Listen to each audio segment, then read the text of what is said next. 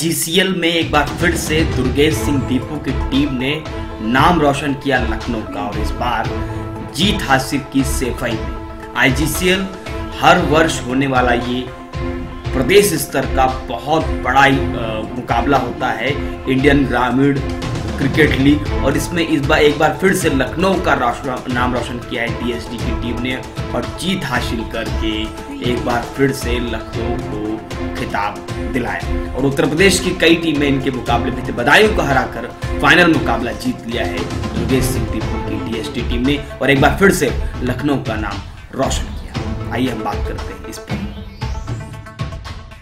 हम इसमें उपस्थित है दुर्गेश सिंह दीपू के घर पर। जिस तरीके से आप देख रहे हैं कि यहाँ पर लगातार एक विजेता के घर पर लगातार डीएसडी टीम के इस कप्तान ने लखनऊ का नाम जिस तरह से रोशन किया है, यहाँ पर उन सारी ट्रॉफियाँ रखी हुई हैं, जो लखनऊ जनपद पर, जनपद का नाम रोशन करने का सबूत सामने दिखाई दे रहा है। दुर्गेश सिंह दीपू के नेतृत्व में डीएसडी टीम ने जब से अपना नेतृत्व संभाला है, इस टीम ने जब तक काम करना शुरू किया लगातार विजय रही है। और उत्तर प्रदेश के कई जिलों से, यहाँ तक कि दिल्ली से भी इनके सामने मुकाबला उस टीम से भी हुआ है, लेकिन नतीजा दुर्गेश सिंह दीपू की डीएसडी टीम ने, लखनऊ की इस टीम ने, लखनऊ का नाम रोशन करने में कोई कसर नहीं छोड़ी। और लगातार ये तीसरी और चौथी बार है जो खिताब जीतती आई है। हम बात करते हैं दुर्गेश सिंह से, लेकिन आप ये पहले थोड़ी देर देख लीजिए। लगातार यहाँ पर लखनऊ की, लखनऊ का नाम रोशन करने का आपको प्रमाण सामने मिल जाएगा, दुर्गेश सिंह दीपू के द्वारा। अभी हाल ही में जीता गया ये कप, उसके बाद ये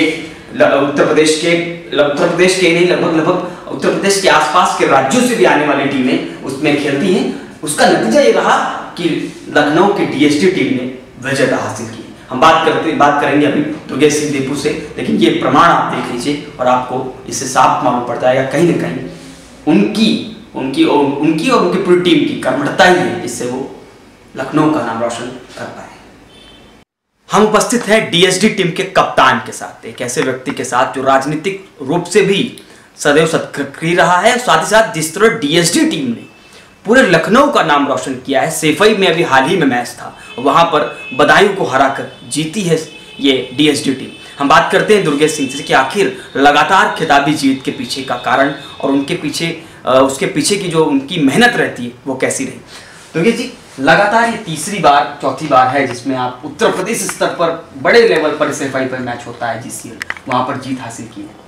क्या कारण रहता है आपकी पूरी टीम की मेहनत कैसी रहती है और कैसे विजेता हासिल करते हैं? किसको श्रेय देते हैं आप पहली बात तो? कैसे मेहनत रहती है आप लोगों की?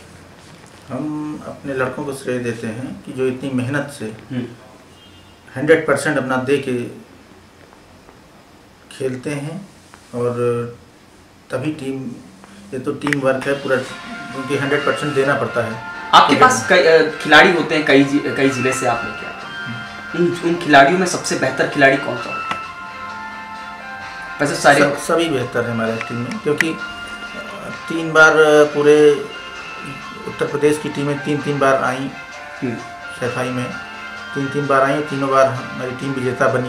हम्म, और यहाँ तक दिल्ली की भी टीम आई अलीगढ़ की भी टीम आई। हम्म। और बाहर से भी काफ़ी मुंबई से भी खिलाड़ी और टीम में आई उनको भी हम लोगों ने हरा के जो है यहाँ से इस पूरे टूर्नामेंट में एक मुकाबला जो आपको रहा आपको लगा हो कि नहीं बहुत टक्कर का था वो कौन सा? ये फाइनल था जो बदायूं। से था।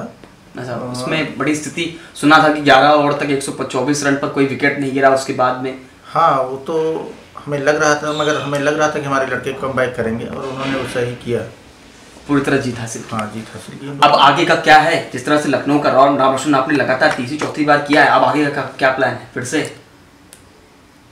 आगे का क्या हमारी टीम के लड़के कुछ आईपीएल भी खेल रहे हैं। अच्छा। हाँ। आईपीएल में गए? हाँ आईपीएल में भी खेल रहे हैं। अच्छा अच्छा अच्छा। और अभी नुमान खान है हमारे टीम के ओपनर थे वो मुंबई इंडियंस में कैंप में रहे। अच्छा। मतलब लगातार आपके खिलाड़ी इंटरनेशनल क्रिकेट में भी रहे। और सरफराज खान जो प्रेजेंट टाइम इस समय या विराट कोहली की टीम में है सरफराज खान। बहुत बढ़िया। हमने बात की दुर्गेश सिंह दीपू से। आपने देखा कि जिस तरह से दुर्गेश सिंह दीपू लगभग लगभग पूरे लखनऊ को श्रेय दे रहे हैं इस जीत का और एक श्रेय दे रहे हैं अपनी पूरी टीम को। होना भी चाहिए। कप्तान के रूप में, एक नेतृत्वकर्ता के रूप में यह श्रेय जाना भी चाहिए। कैमरामैन अवधेश कुमार के साथ, लखनऊ की शान बढ़ाने वाले दुर्गेश सिंह दुर्गेश सिंह दीपू के साक्षात्कार के साथ Sachin Dikshit anti corruption news and